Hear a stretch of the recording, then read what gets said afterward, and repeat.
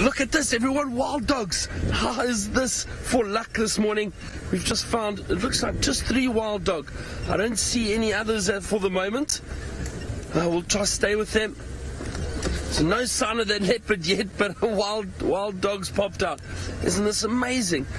Running off into the sunrise. So let's see. We'll try to stick with them. Oh, this is so exciting. Oh, that's wonderful, wonderful. Uh, wild dog are definitely one of my favorite predators to follow. Um, because they are just so exciting. I'm just going to call this in quickly because I'm sure there are a lot of people that would want to see wild dog. Oh, hold on. Now there were. Oh, look at that. Beautiful.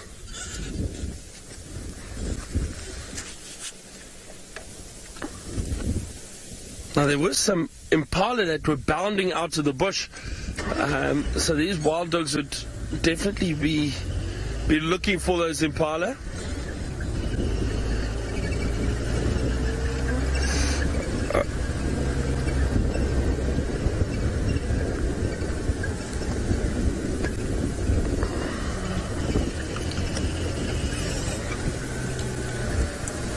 Oh, no, unfortunately, they're going across into Leadwood. Very, very quick sighting of them. Oh, sorry, Torchwood. It's Torchwood, that side. The stations are just located the pack. Um, just three of them animals are on Cheetah Cut Line, Leadwood Junction. They're crossing into Torchwood. Probably to, going to lose visual soon.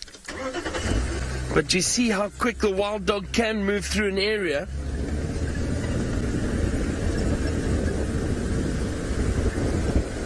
Oh, that is very exciting. Let's see wh- which way they go. Maybe they turn. Wild dogs can sometimes run and change direction quite quickly. You still see them, Seb. I think we've just lost them now. No, they've moved through also that brown grass, and with there only being three of them, they can disappear quite quickly. That was so exciting. Just a quick glimpse of them, but always amazing to see the wild dogs.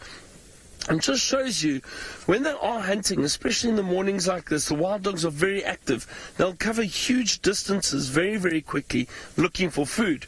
And, and exactly what we've done, or what they've done, is they've run through, I don't know where they came from actually, um, but they've run through this south, kind of southeastern corner of Djuma. They've run through quickly and they've run across into Torchwood.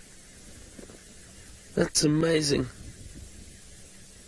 Really, really amazing. Quick sighting, but always wonderful and, and um, exciting to see wild dog. All right, so and apparently know, most of the viewers, you're saying it's the lower Sabi Sand breakaway. These three dogs. Now I know these um, these dogs have been seen a number of times before, and um, and I've heard of just the, the pack of three that move around. The other pack, I think it's the Investec pack. I think there are nine dogs in that one, if I'm not mistaken. Yes. I think it's about nine, yeah. Um, but oh, it would have been exciting to see them hunt. I'm going to hang around here a little bit longer just to see if they come back. But while we do that, let's head all the way to Jamie in the Mara, who's got one of my favorite animals to show you.